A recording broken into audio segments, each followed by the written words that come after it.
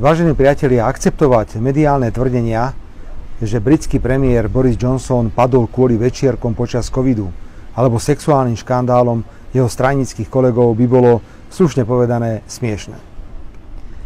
Boris Johnson bol vo vojne proti Rusku na Ukrajine väčším jastrabom ako Spojené štáty.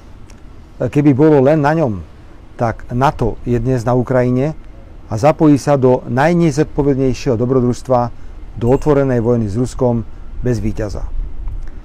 Pádu Johnsona podľa mňa pomohli veľkí európsky hráči. Mali na to viac dôvodov.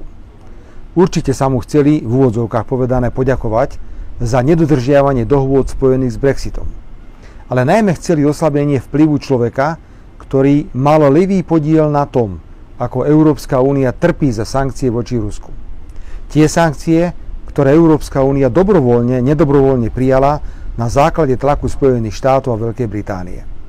A veľkým európskym hráčom s pochopením pomáhali Johnsonovi politickí súputníci, vidiac negatívne dopady agresívnej protiruskej politiky a sankcií na bežný život Britov.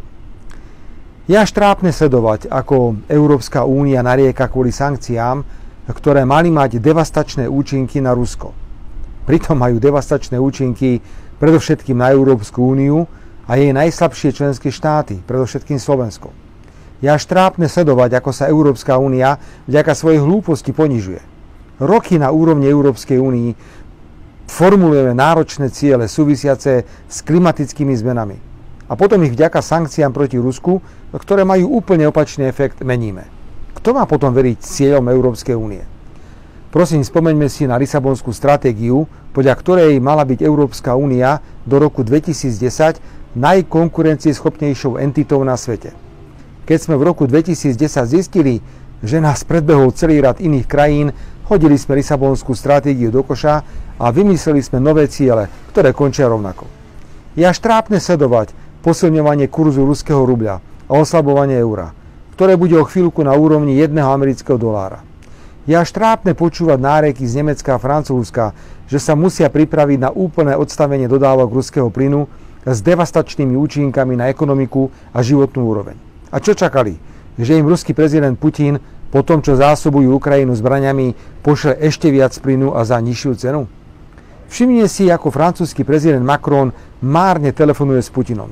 Ako sa Nemecko usiluje za každú cenu udržať dodávky plynu cez Nord Stream 1. Ako Taliani plačú, že pôjdu do ekonomickej recesie. Ak rozmýšľali, museli vedieť, čo bude znamenať vstúpiť na strane Spojených štátov a Veľkej Británie do vojny s Ruskom. Naši americkí agenti v prezidentskom paláci a vo vláde nemajú žiaľ výbavu, aby pochopili, čo sa deje. A zatiahli Slovensko do vojny na Ukrajine, kvôli čomu nás Rusko považuje za nepriateľskú krajinu. Zdražovanie, znižovanie životnej úrovne. Na to majú obrovský podiel naša prezidentka aj vláda, lebo namiesto sebavedomých postojov a vetovania niektorých šialeností proti Rusku dali prednosť posilneniu vazalstva Spojeným štátom americkým. Na rozdiel od našich malých amerických agentov, veľkí európsky hráči pochopili, že musia pomaly otáčať kormidlo. Doma sa im búli verejnosť, klesá im dôvera, stúpa popularita opozície, ekonomika je vystavovaná vážnym otrasom. Celkom chápem, že ak mali možnosť prispieť k pádu najväčšieho protiruského jastraba Johnsona, tak to urobili. Rovnako dali pokyn Európskemu parlamentu, aby minulý týždeň v stredu dal opäť zelenú jadru a plynu, čo bolo nedávno nemysliteľné. Jednoducho povedané, je čas si priznať, že sankcie proti Rusku nefungujú a že pomáhajú len Spojeným štátom, samotnému Rusku a potom Číne a Indii, dvom krajinám, ktoré v Ruskej federácii získavajú priam neotrasiteľné pozície. A že nás v Európe tieto sankcie devastujú. Ja odmietam vojnu na Ukrajine a nikdy by som ju ako predseda vlády nepodporoval zásielkami zbraní Ukrajine. Európska únia vojnu na Ukrajine nezvládla a zostala vo vleku Spojených štátov, ktoré na vojne profitujú. Nech už majú veľkí európsky hráči z Nemecka, Francúzska či Talianska akékoľvek dôvody na prehodnocovanie svojich protiruských postojov, treba to privítať.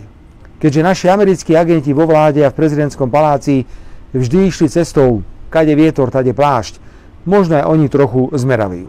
Na teraz to tak nevyzerá, pretože Slovensko je síce rozvrátené ekonomicky, sociálne, právne, ale oni riešia dilemu, či Matovič má alebo nemá byť vo vláde.